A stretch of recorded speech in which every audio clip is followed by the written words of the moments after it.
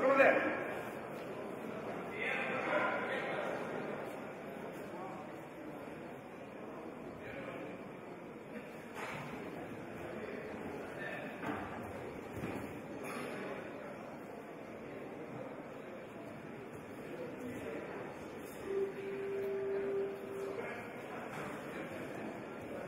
На первом татаме победу одержала Мария Мананникова, Приволжский федеральный округ. На первый татами приглашаются Виктория Короленко, Сибирский федеральный округ.